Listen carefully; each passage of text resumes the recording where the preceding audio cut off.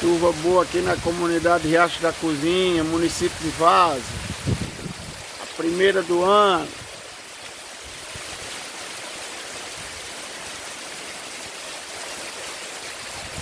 Começou bem.